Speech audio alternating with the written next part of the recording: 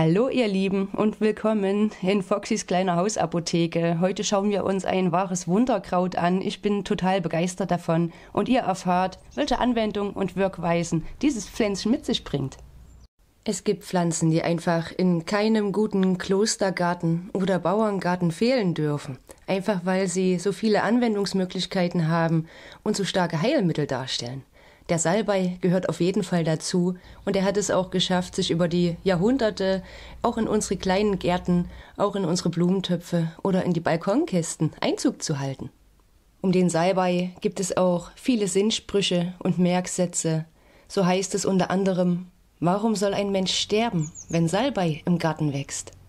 Das haben schon im 13. Jahrhundert an der Fakultät von Salerno, in der ältesten medizinischen Einrichtung Europas sozusagen, ja, die Gelehrten als Sinnspruch mitgegeben, mit dem Ziel, dass der Salbei möglichst in alle Gärten gebracht werden soll. Es heißt aber auch, hast du Salbei im Garten, müssen die Ärzte warten. Schon im 10. Jahrhundert haben arabische Ärzte den Salbei benutzt, um ihre geistigen Fähigkeiten zu steigern. Und auch heute ist er ziemlich interessant in der Alzheimer-Forschung als Medikament. Im alten China war der Salbei als Würzkraut und auch zum Konservieren von Fleisch höchst gefragt. Natürlich wird der Salbei in den Küchen und für viele Rezepte gerne genutzt, aber viele haben auch vergessen, dass er ein uraltes und sehr starkes Heilmittel ist. Die guten Inhaltsstoffe vom Salbei kann man sich auf viele einfache Arten ja einfach nutzbar machen, zum Beispiel als Salbei-Tee. Man kann aber auch ein Salbeiöl oder ein Salbeiessig herstellen. Auch in vielen Körperpflege- oder Zahnpflegeprodukten findet man den Salbei als natürliche Alternative. Und das hat gute Gründe. Auf klug heißt der Salbei Salvia officinalis. Das heißt übersetzt so viel wie heilende Arzneipflanze. Der Salbei kann frisch oder getrocknet als Teekraut, entweder pur wer das mag oder auch in vielen Teemischungen, ja, einfach in den Alltag integriert werden. Er kann helfen, den ganzen Körper zu stärken, das Immunsystem zu stärken. Und es wird ihm auch nachgesagt, ähm, früher für glücklichen Beischlaf genutzt worden zu sein. Aber auch als Ritualpflanze wurde der Salbei genutzt, zum Beispiel als Grabbeigabe, um die Toten zu schützen, aber auch als Teil von Räucherbündeln gegen schlechte Einflüsse.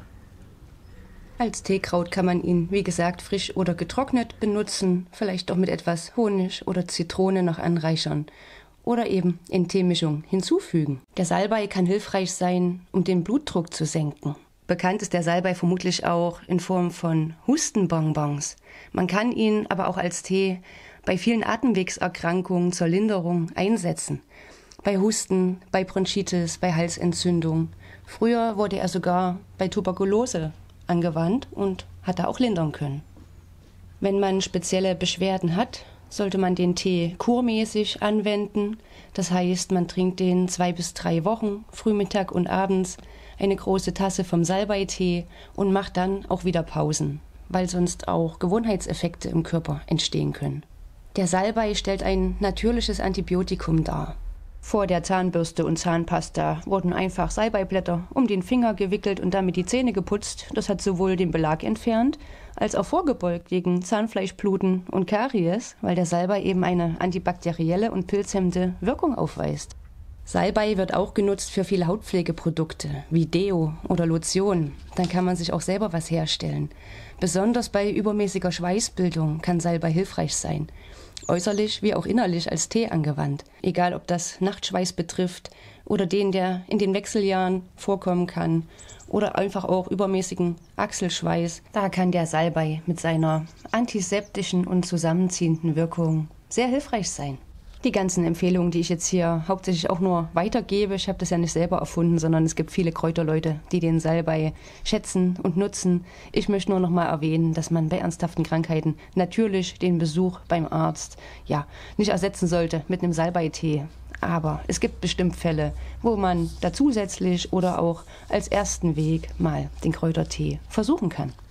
Maria Treben hat beim Salbei noch einige weitere Anwendungsmöglichkeiten aus ihrer Zeit aufgelistet. Dazu gehört unter anderem, dass er Schlaganfälle verhüten kann. Er kann bei Rückenmarkleiden, Lähmungen, Krämpfen und Gliederzittern hilfreich eingesetzt werden. Er kann äußerlich aufgelegt bei Insektenstichen gut helfen Und bei Magen-Darm-Problemen ist er auch auf jeden Fall empfohlen, der Salbeitee. Früher wurde er sogar bei Leberkrankheiten angewandt und Maria Treben meint, dass so manche Mandelentzündung nicht nötig gewesen wäre, wenn man vorher mit dem Salbei ja, eingegriffen hätte. Wenn euch mehr Kräuter und wie die funktionieren, was die alle können, wie man die anwendet, wie die wirken, interessieren, dann könnt ihr gerne noch in meiner Playlist nachschauen, ja, wo es um die Kräuter und Heilpflanzen zur Selbstversorgung geht. Ich wünsche euch ein schönes Wochenende und bis zum nächsten Mal. Tschüss!